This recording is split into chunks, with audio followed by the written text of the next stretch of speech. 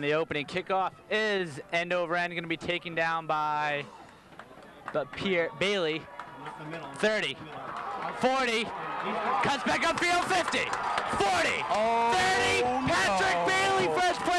game, touchdown Panthers. What a way to kick it off here. Season opener here at Stadium. Bailey finds a great hole. I believe it was about a 81 yard run back as he appeared to catch from the 19. Looked like an 81-yard run back for Pat. Patrick Bailey starting the game off in style. What here. a way for the Black. Matt Linkoff, the senior, who is 6'2", 185. The punt is almost blocked.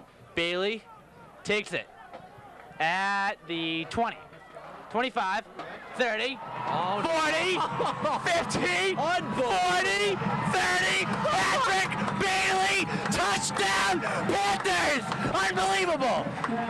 I am at a loss for words. How, how amazing Pat Bailey and this, uh, and this special teams blocking has been doing in this game as once again the blocking up front springs another Bailey touchdown and uh, First and three, third and one rather.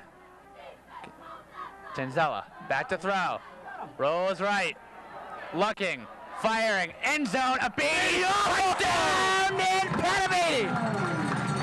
Panamati with his second touchdown reception of the year, and the Panthers are, continue their domination. There's Didi far, Mackin, Didi near McAniff in motion, Nardella Bailey backfield. The give is to no one. Tenzella rolls, Lux fires, caught, McAniff, 45, 50, out of bounds, 46 yard line. Matthew McAniff with a reception.